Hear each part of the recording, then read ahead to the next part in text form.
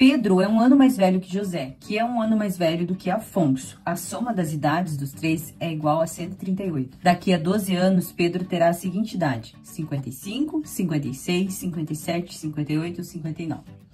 Bom, pessoal, primeira coisa, né? Vamos pegar os dados, né, do problema. Então, sempre probleminha de matemática, né? Coloca, né, escreve, até desenha se for necessário, tá bom? Bom, então aqui, ó, vamos pegar aqui primeiro o Pedro, ó. Pedro é um ano mais velho que José. Então, vamos escrever isso, né? Então, nós temos aqui o Pedro, vou representar aqui pela letra P.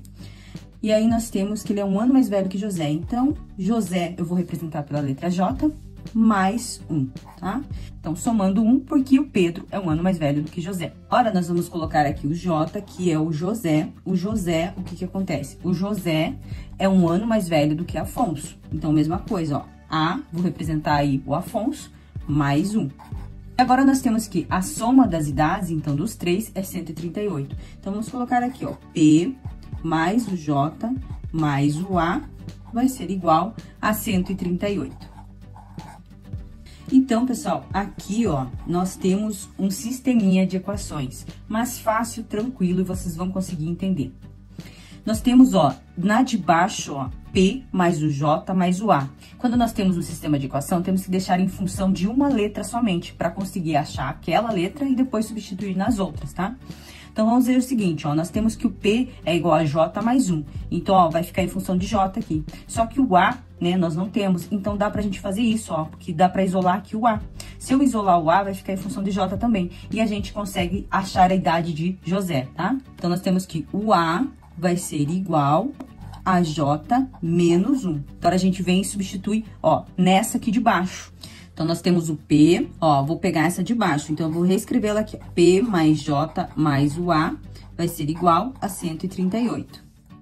Ó, vou substituir aqui. Então, nós temos o P, ó, J mais 1, então, J mais 1, mais o J mais o A. O A, então, é J menos 1, igual a 138. Então, vocês viram que ficou em função de J aqui, para a gente poder descobrir essa letra, né? E depois substituir nas outras. Então, aqui, pessoal, eu posso eliminar esse menos 1 com esse mais 1, e a gente tem um J mais um J mais um J, que vai dar 3J, igual a 138.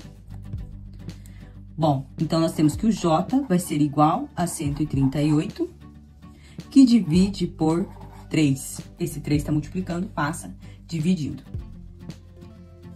E dessa divisão, pessoal, vamos fazer a continha aqui, ó. 138 divididos por 3. Então, aqui a gente tem 4, né? 4 vezes 3, 12. Vai restar 1, baixo o 8 e a gente tem o 6, né? Vai dar exatamente 46.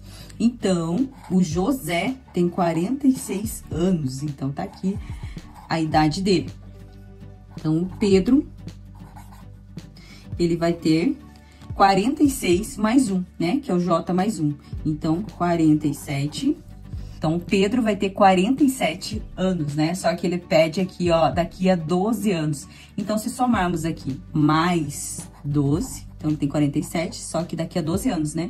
Então, mais 12, nós temos 59. Então, essa aqui é a resposta, né? Então, da questão. Então, alternativa aí.